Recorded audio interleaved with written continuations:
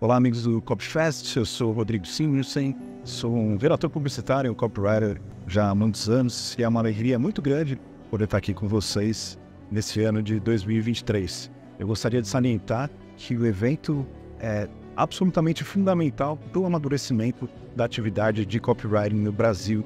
Precisa ter um papel é, fundamental nessa união para que as pessoas se conheçam, para que as pessoas se fortaleçam, também para que novas ideias sejam cultivadas e que as pessoas possam, enfim, melhorar esse processo como copywriters também como profissionais de uma maneira geral.